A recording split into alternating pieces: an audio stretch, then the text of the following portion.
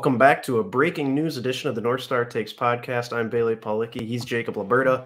We're a Minnesota sports podcast, and uh, Minnesota Vikings finally making some moves here in free agency. Liberta, after quite the long free agent meeting with Za'Darius Smith, they have finally signed him.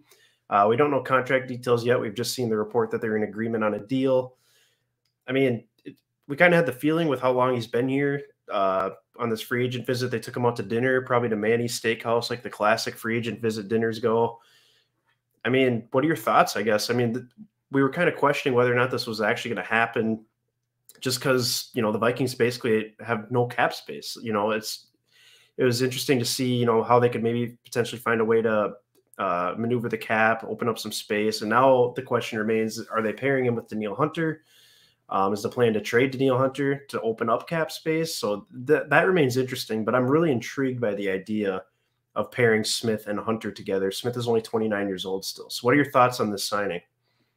Yeah, you know, I am pretty excited about this. This is obviously the biggest move the Vikings have made under this new regime outside of extending Kirk for another season. This is definitely a big one that's uh, really going to help us a lot. I think I was pretty excited to hear that we got him just because he's had some good production over the years, and especially mm-hmm. these last couple of the Packers. I know last year he was hurt for basically all of it, but the year before that, he still had 14 sacks, and the year before that, he led the league in pressures. So, I mean, this guy can get done. So, I think he's great to add to this new 3 4 defense. And yeah, especially to poach him from the Packers. I mean, right. uh, a good player, get him from the rival. I mean, uh, embracing the uh, purple people eaters on Twitter, uh, mm-hmm. making making mention of that, making reference to that. So uh, I think this is a this is a good move by the uh, front office to move in on a proven pass rusher because I think those are always needed on good teams. So uh, since we're in this win now window that we've created here, I think Za'Darius Smith is the perfect signing. So I can't wait to see what he's got honestly coming forward here this year. Yeah, same. And I'm kind of curious what the contract details are going to be because he had an agreement with the Ravens that was mm-hmm. going to pay him, I think, roughly eight million a year, something along those lines. And all of a sudden, that fell through. So I'm kind of curious what the deal was there, on why that deal fell through. There was never really any reporting on why they weren't able to work it, work it out in the end. I don't think.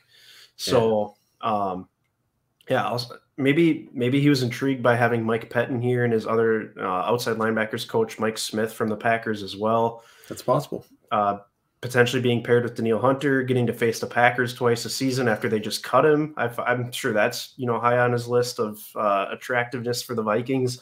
So I mean, there's probably a ton of things at play here, but as long as he stays healthy, and that's kind of the thing with both him and Danielle Hunter, you you you, you sorry, you're banking on them to to stay healthy, but you know, Hunter, I'm not really worried about because he's just a beast of a human being. Like, I think he'll be okay. He's kind of had a couple freak injuries.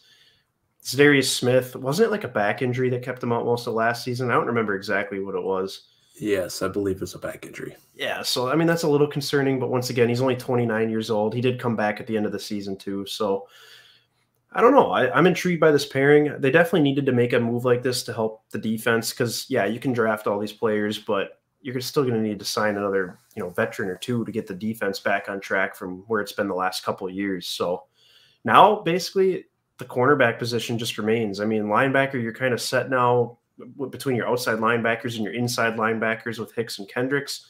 And then, you know, you got still got Harrison Smith and, you know, probably Cam Bynum as the other starting safety, but you really need to figure out the cornerback position now, which I'd, I'd imagine they're going to attack aggressively in the draft coming up. Yeah, that's a gaping hole that needs to be addressed as soon as possible after now this move has been made. I think that's the obvious obvious hole that needs to be plugged. And at this point, we have Dantzler and nobody else really. I mean, I get we have these other depth corners like guys like Kris Boyd, special teams ace, you know, and then you got um, Harrison Hand, who we drafted a couple years ago. But like as far as starting caliber players go that you can rely on, it's it's Dantzler. So we yep. got to add some new bodies in here. Probably starts with drafting one in the first round in this upcoming draft here next month. So I'm hoping, still hoping for either Derek Stingley or Sauce Gardner, but I don't know how likely it is. I could very well see them both ending up in the top 10. So mm-hmm. we're certainly going to have to uh, weigh our options there and evaluate a lot of different corners. Maybe it, the the value would be better in the second round, but we're going to have to find a second, at least a second starting corner opposite Dantzler, and going to have to find a nickel of some sort, whether it be a cheap veteran deal or whatever it might be. So, I I think that's got to be the next move here in this with this offseason. But you know what? I wouldn't mind the next move being signing J.C. Tretter either. I was just going to bring that up. I'll, I'll be curious how much cap space we're left with here because I think JC Tretter needs to be a super high priority on this team's list. Yes. I mean, if you can if you can lock down Za'Darius Smith and JC Tretter, and then you're kind of maxed out for cap space, I'm okay with that. Because then in the draft, you can really focus on defense. I mean, obviously, you don't want to get yourself into a rabbit hole where you're just picking for need because that's where you tend to draft bust players. But yep. At the same time, the offense is so loaded that uh, you can i just think you can really focus on defense. And maybe within a draft and you know maybe you get some contributions from guys last year that didn't really play much. You know maybe between the, these next couple drafts you can really turn this defense around all of a sudden. And maybe you get more contributions from a guy like dj wonnum or armon watts or some guys that you know have been playing but just haven't you know fully reached their potential whatever their potential may be i guess. But so I don't know. Maybe it's doable to get this defense turned around quicker than you know you would think, especially when you the offense is locked and ready to go. And it's going to be for the next two years. As long as Kirk Cousins is here, you're still probably going to have Dalvin Cook. You're still going to have Jefferson, obviously. Thielen's going to be around. Um, Irv Smith is going to need a contract, but you know, as long as he has a good season, I'm sure they'd be willing to give him a contract. So it'll be interesting to see what they do here. But it's really starting to look like, uh, other than J.C. Tretter, I think defense is really going to be the priority from here on out. I could ask me. We have to start getting some more young core players in here again, just because it's been so long since we drafted any good mainstays. So I think that's yep. got to be priority A in the draft, and not just at the top, but probably throughout it. I mean, even with the depth picks on day three that everybody likes to joke about, you know, those were the Rick mm-hmm. picks at the yep. at the end, especially in like the sixth and seventh rounds. But like, we, we got to just get bodies in there. Hopefully, as many quality players as you can find. It depends how Kwesi wants to approach it, I suppose. If he's more of a limited picks but higher quality as far as like picking higher in the draft. Maybe that's the way he wants to go. But yeah, I mean, whatever it is, whatever the strategy might be, I, we just got to find more defensive guys that have some promise that you could actually foresee being on the team like three years from now.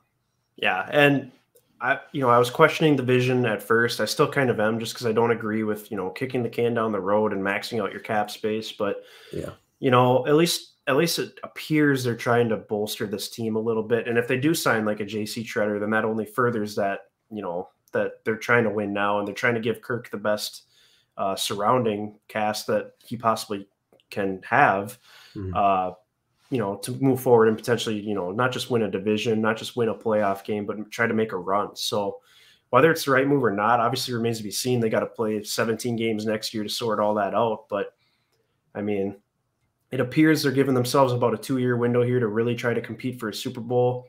And then if that fails, I mean, it's going to be probably quite the rebuild unless, you know, they really hit some home runs in the draft here the next couple of years.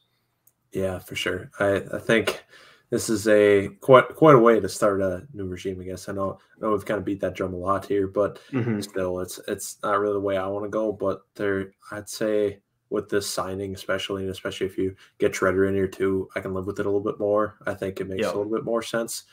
And it makes this offseason feel a lot better, at least. I know we haven't made a ton of moves, but those would be two pretty big ones with Smith and Tretter. So, yeah, absolutely. So the, the offseason continues. There's honestly still quite a few big names that are still out there, oh, you yeah. know, a week plus into this uh, free agency period. So I'm, I'm kind of interested to see where the rest of these bigger names go. But um, I think the Vikings are actually kind of being smart, just kind of waiting it out with some of these guys too. Like, you know, they were patient with Za'Darius Smith. Granted, it took him, you know, not not agreeing to a contract with Baltimore after they appeared to have an agreement in place. But yeah, um, yeah, just, just super interesting. Any other final thoughts from you before we take off here on the on how the Vikings roster is starting to shape out?